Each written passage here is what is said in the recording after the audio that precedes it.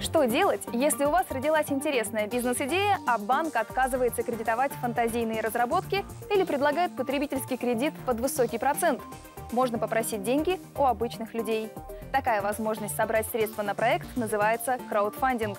Что нужно для успешного краудфандинга и какие проекты наиболее популярны среди потенциальных инвесторов? Смотрите программу «Прикладная экономика» в рамках проекта «Такой день» в понедельник, 9 апреля в 15, 18 и 20 часов на телеканале «Мир Белогорья».